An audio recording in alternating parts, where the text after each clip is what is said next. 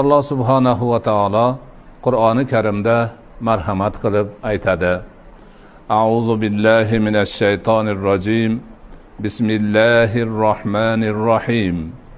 إنما يعمر مساجد الله من آمن بالله واليوم الآخر وأقام الصلاة وآتى الزكاة ولم يخش إلا الله.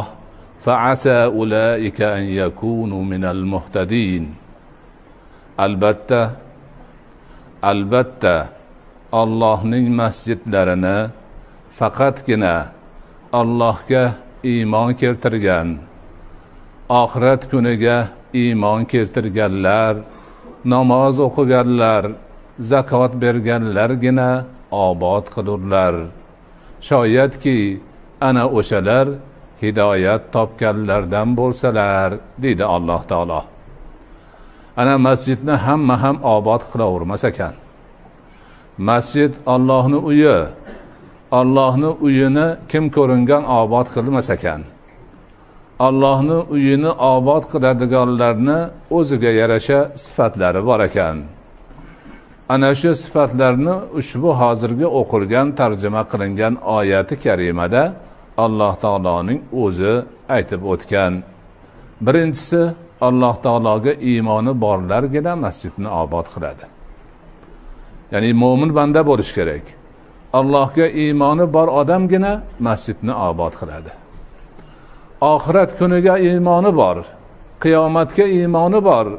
Qiyomatda bo'ladigan barcha tafsilotlarga aniq ochiq oydin iymon qilganlargina masjidni obod qiladi. Namoz o'qiganlar zakot berganlar masjidni obod qiladilar. Ana o'sha alloh subhanahu va taologa iymon keltirgan oxirat kuniga iymon keltirgan namozni to'la to'kis ado etib zakot bergan masjidni obod qilganlar shoyatki hidoyat topganlardan bo'lsa. Ana hidoyat topganlardan bo'lish har bir bandani buyuk martabasidir. Orzu umididir. Erishgan eng nihoyiy cho'qqisidir. Ana shu e'tibordan masjid obodligi islom dinida mo'min musulmon ummatida nihoyatda ulug'lanadigan bir amal hisoblanadi.